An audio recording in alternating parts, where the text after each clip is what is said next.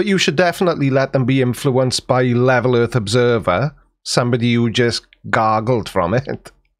Michio Kaku, American theoretical physicist, futurist, and popularizer of science. He's a professor of theoretical physics at the City College of New York. He's a pretty smart fella. Dear, oh dear, oh dear. Oh, yeah, and of course, Level Earth Observer. I think he's a professor of Dunning Kruger at the University of Duh. Go nuts on my nuts. Why would somebody like Level Earth Observer choose to make a video about Michio Kaku? More importantly, why is he saying he's wrong about everything? What is the reason for the video? This is for educational purposes. Okay, well, if it's for educational purposes, let's check it out. Tidy! We saw this globe pushing nutter about a month ago on damage control when he featured in one of my videos. Damage control? That's a pretty bold claim, and I gotta admit, I'm a little bit envious. I've never had a world renowned physicist react to one of my videos. I've got to highlight this. This is for educational purposes and to make people aware of the ridiculous narrative being pushed by clowns like this man, Michio Akaku, or whatever his name is. I'm not going to bang on too much about the Dunning Kruger effect because I think by now we all know what it is. It's basically a cognitive bias where somebody of low ability hugely overestimates their own ability. In its simplest terms, they're too stupid to realize just how stupid they are. So, why somebody like Level Earth Observer here would choose to put out a public challenge towards somebody like Professor. What's his name? What? I'm losing the will to live, and I've I've only been recording this for five minutes. But what I was trying to say is, why somebody like Level Earth Observer would choose to challenge Michio Kaku, very difficult name to say for somebody like me with no accent, is completely beyond me. But he does it all the time. Why does he think he's such a genius when he clearly isn't?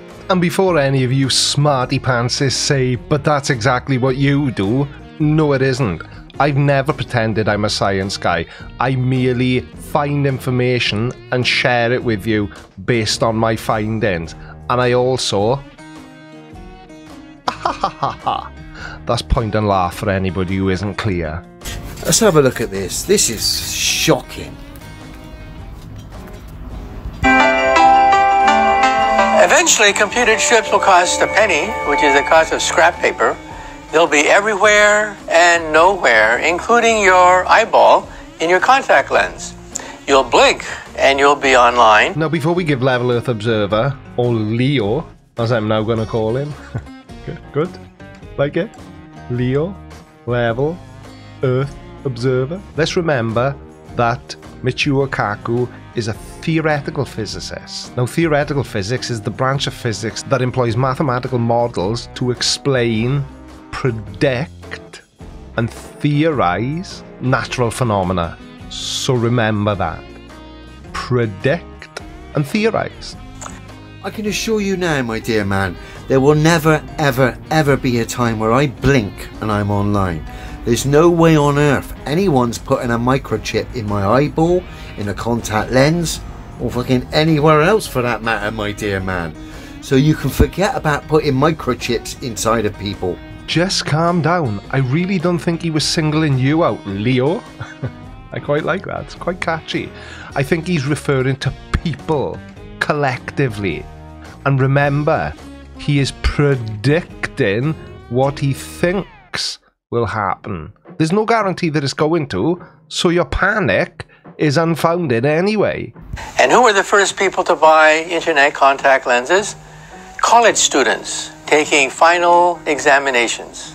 They will blink and see all the answers to my exam right They'll blink and get all the answers to your stories right there in a flash. Don't need to blink, don't need to have a chip. Everything you say is utter nonsense anyway. And you'd know, wouldn't you? I mean, about something being utter nonsense. Because everything you upload to YouTube is exactly that.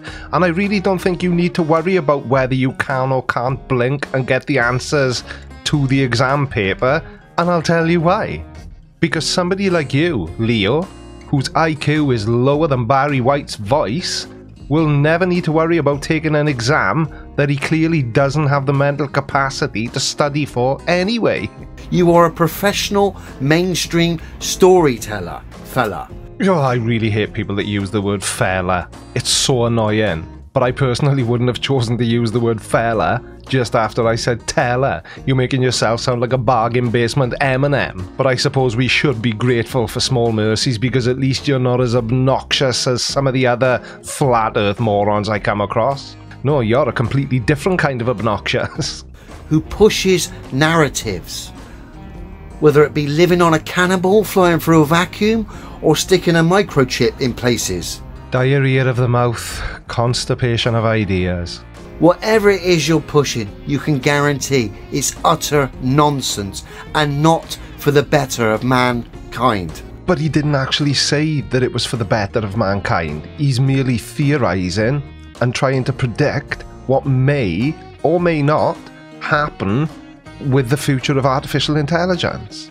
And this could be very useful if you're at a cocktail party and there's some very important people there that could influence your future, but you don't know who they are.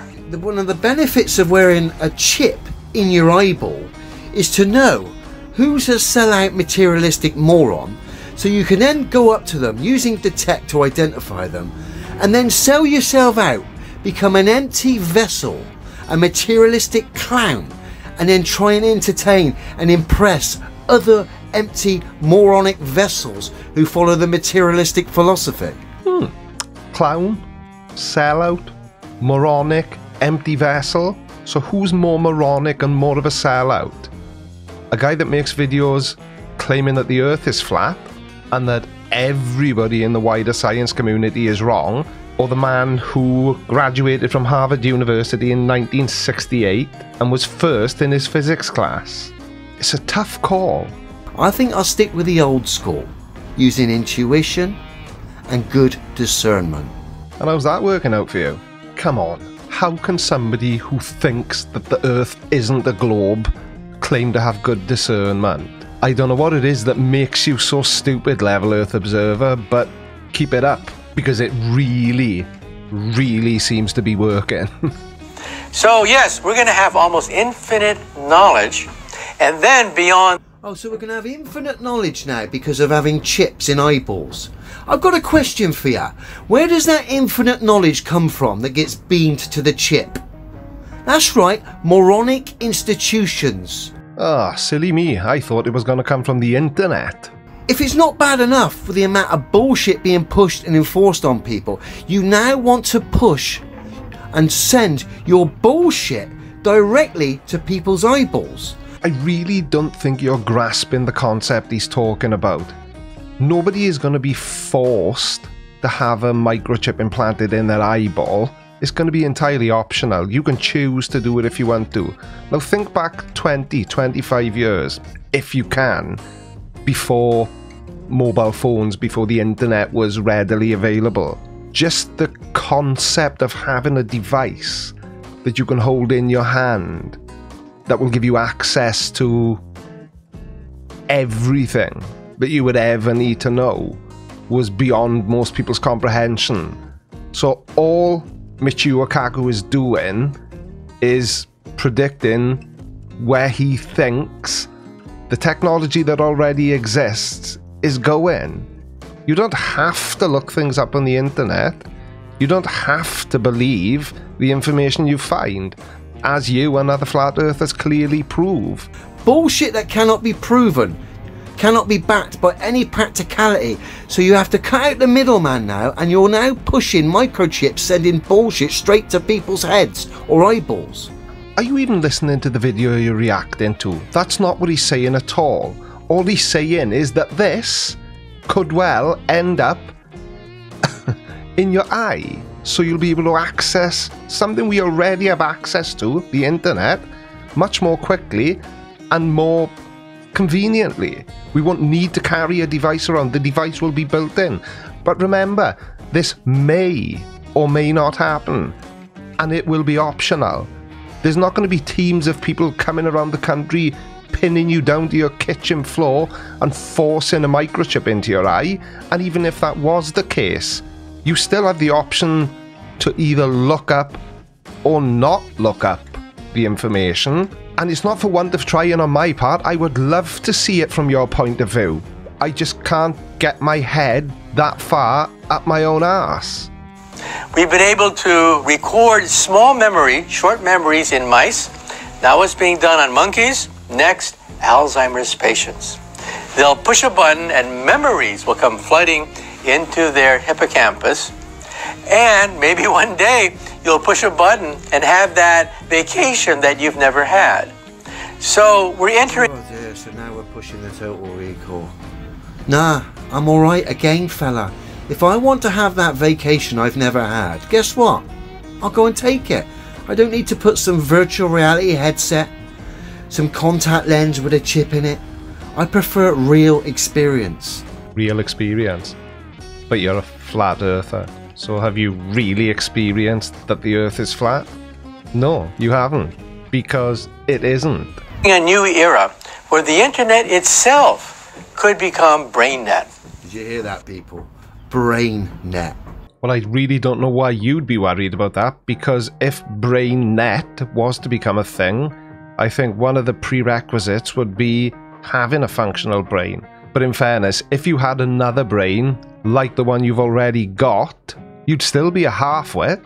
Bearing in mind, in a time where people are questioning the narrative, questioning what we've been told, and of course it's failing the mainstream narrative and the mainstream system is failing to back up any of its proper claims. I'm talking about the heliocentric fantasy here, with any kind of practicality whatsoever. And because that's happening now, there's a big push to direct bullshit straight to your head. I have to make sure that I'm understanding where Leo is coming from. So everything that's being discussed in this video, the possibility of brain net, microchips in the eye for easier access to the internet, is to hide the fact that the Earth is actually flat. Have you ever thought, Leo, that perhaps your whole purpose in life, the reason you were put on this planet, was to serve as a warning to others? Because I don't suppose anybody wants to be that stupid. But then again, I guess some people haven't got the choice, have they? And of course, teenagers will love it. Instead of putting a happy face at the end of every sentence, they'll put the entire That's right, market the vulnerable teenage market. That's right. Parents shouldn't have a problem with that, should they? Oh, yeah, I completely agree with you. It's wrong to target the vulnerable children, teenagers, the less intelligent. Say, for example, with content suggesting the possibility that the Earth isn't a globe. If you're a parent and you've got kids, you need to seriously think about what's coming in the near future, what morons like this are pushing, and the, the target audience they are going for, i.e., the young. Oh, yeah, you definitely shouldn't let your children be influenced by a physicist, somebody who drinks from the fountain of knowledge. But you should definitely let them be influenced by Level Earth Observer, somebody who just gargled from it. Once we have BrainNet capable of sending We'll never have BrainNet, mate. Not as long as I'm alive. BrainNet. Well, for the first time in this video, I find myself agreeing with you, Leo. You're right. There may never be BrainNet while you're alive. Now, I know the implication from you was that you were just the man to stop it, and I'm glad you're not afraid to speak your mind. But that being said, you've not really got anything to lose, have you? I had to highlight that. That was a tough one for me to watch, listening to that guy. Yeah, I know the feeling. Very, very well. I wonder if stupidity is painful. But that being said, it can't be because if it was, Level Earth Observer would be writhing around in agony, wouldn't he? Thanks for watching, everybody. If it is your first time here, a like on the video and a subscribe would be thoroughly appreciated. I'm the Creaky Blinder, and I will see you in the next video. Take care, everyone. Bye bye. Alright, alright, watch this next. But before you do, make sure you subscribe. By order of the Creaky Blinder.